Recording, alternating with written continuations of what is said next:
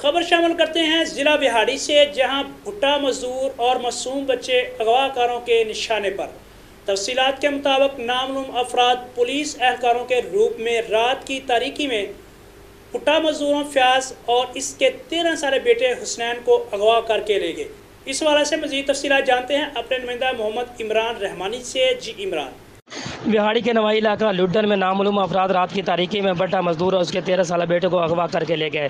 बट्टा मजदूर फ्याज अपने अहल खाना के हमरा सोया हुआ था कि गाड़ी पर सवार मुसल्ह अफराद आ गए। मुसल्ह अफराद ने खुद को पुलिस एहलकार जहर करते हुए फ्याज और उसके तेरह साल बेटे हसनैन को असला के ज़ोर पर गाड़ी में डाल लिया।